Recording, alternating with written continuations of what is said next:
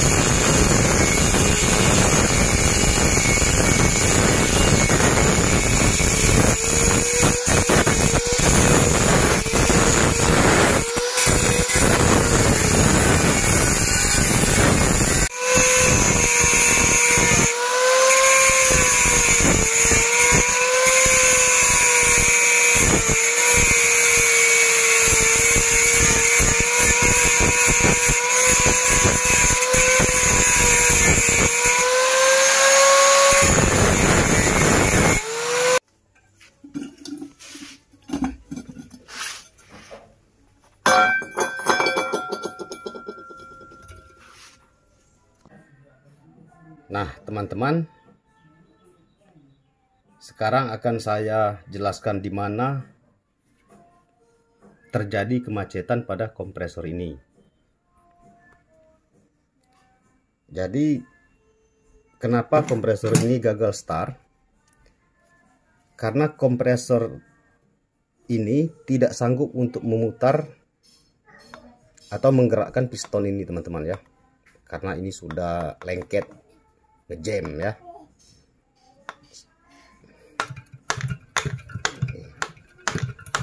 Nih. Ngejam teman-teman.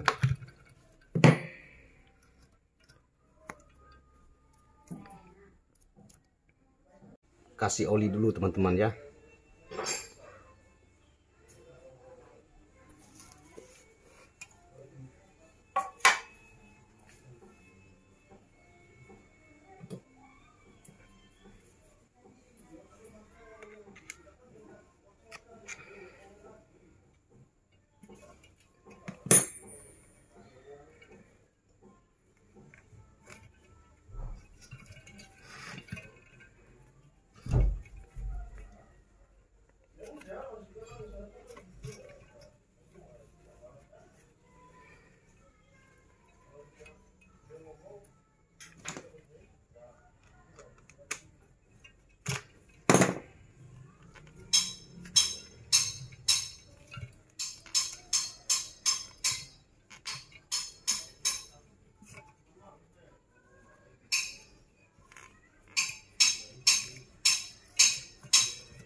ini sudah sudah berputar teman-teman ya, sudah tidak ngejam lagi ya. Sekarang coba kita colokkan ke listrik ya. Ya, colokkan. Nah, ini sudah jalan teman-teman ya. Ini pistonnya teman-teman. Jadi kerja piston ini teman-teman menghisap dari sini teman-teman ya. Menghisap dari sini di dalam ini ada ya nah itu warna putih itu teman-teman ya. Itu tempat atau jalur freon yang dihisap melalui jalur pipa tekan ini ya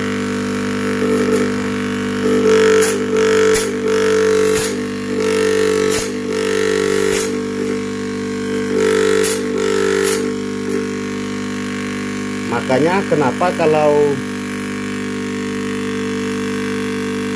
mengisi oli tidak boleh dari pipa yang ini teman-teman. Karena ini adalah tempat atau jalur freon teman-teman ya.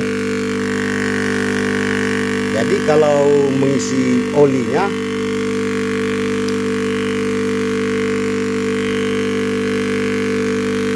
dari sini teman-teman ya.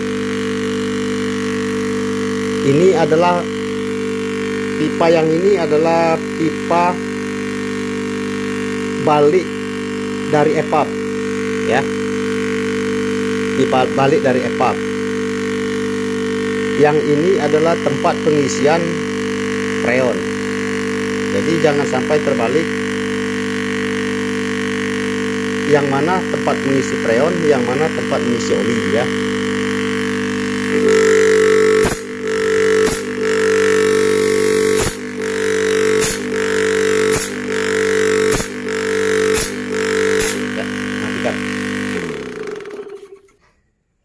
Jadi itulah teman-teman ya.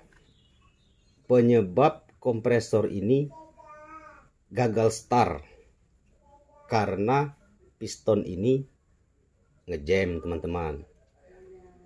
Dan satu lagi teman-teman ya, apabila pada kompresor pada pipa tekan mengeluarkan oli atau menyemburkan oli berarti piston ini sudah aus gerakan kompresor jadi longgar sehingga oli lewat celah-celah piston tersebut teman-teman ya. Nah, sekarang saya akan mengelas kompresor ini teman-teman. Karena kompresor ini sudah bagus akan saya las ya.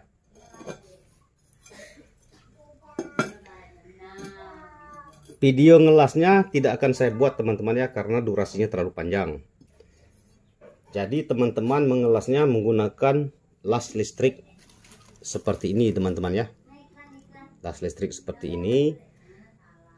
Posisikan ampere 100 teman-teman.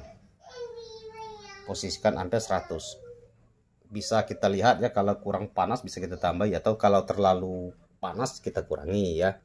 Menggunakan ini teman-teman ya. Ini kawat las listriknya ya Oke teman-teman ya, segitu aja ya penjelasannya tentang kompresor gagal start atau ngejam. Terima kasih.